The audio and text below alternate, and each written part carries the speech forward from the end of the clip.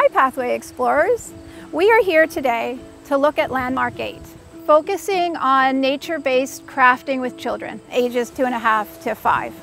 So doing artwork with children, especially at this age in the early years, is not so much about the end product, it's about the process. It's about learning through the senses. The children are wide open through their senses.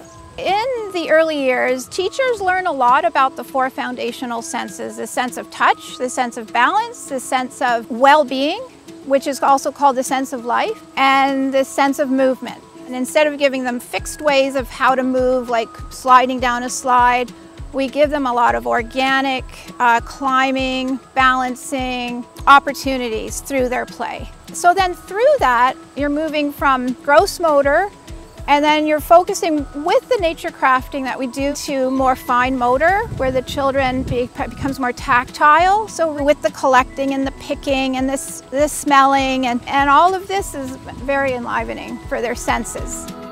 Children at Rowan Tree love to make nature clay tiles.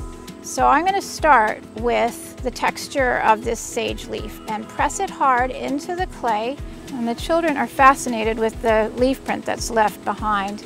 Another lovely way to make texture is to roll a pine cone over the clay. I love making patterns with the acorn top and I'm going to press a pattern around the edge of the clay here. A really beautiful, simple way of helping the children tune in to the textures and patterning in nature. And another thing children absolutely love are dried uh, lavender flowers, cloves, which is really nice for Christmas crafting. And then of course you can go out and collect your own seeds. Here's a, a bunch of apple seeds. I think I'm gonna press some of these in. Add one or two of the glass gems as well. Sometimes a feather is a beautiful thing to add. There you go, it's as simple as that. I mean, you're really looking for colors and smells and textures, clay, loose parts that you've collected from nature. Now let's try making a nature leaf kite. The children love to go out on our nature hikes and of course they're finding lots of sticks along the way. And then we go and find clusters of leaves or one giant catalpa leaf even, you know, whatever we can find to make a bit of a kite effect on, on our stick.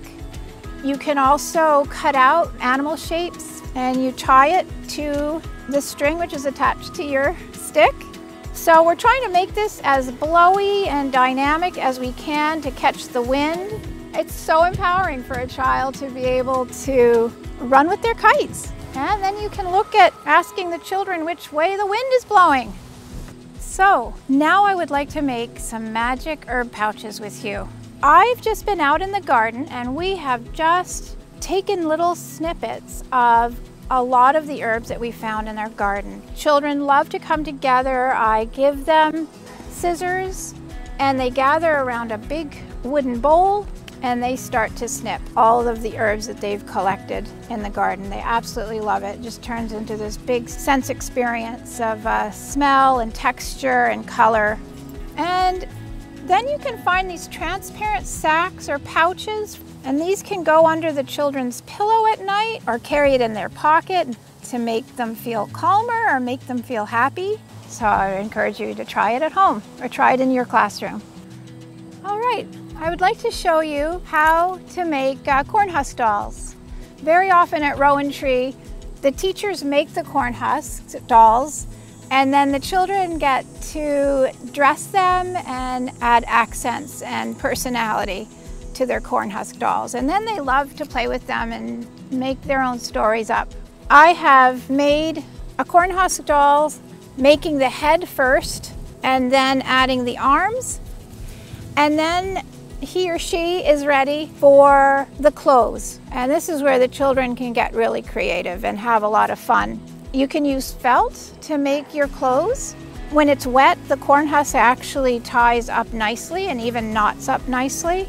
So then you might add a beautiful crown to your corn husk doll. You can make an accessory like a little acorn necklace and put that over the head of your corn husk doll, which I'm gonna do here.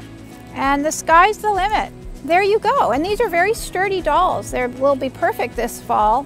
And the children are encouraged to make up their own stories. And this little corn husk person might turn into a boy or a girl or a mother or a father or a carpenter or a farmer. These are all the themes that the children like to uh, weave through their stories. Well, thank you for joining me. It's been a pleasure to share my ideas with you.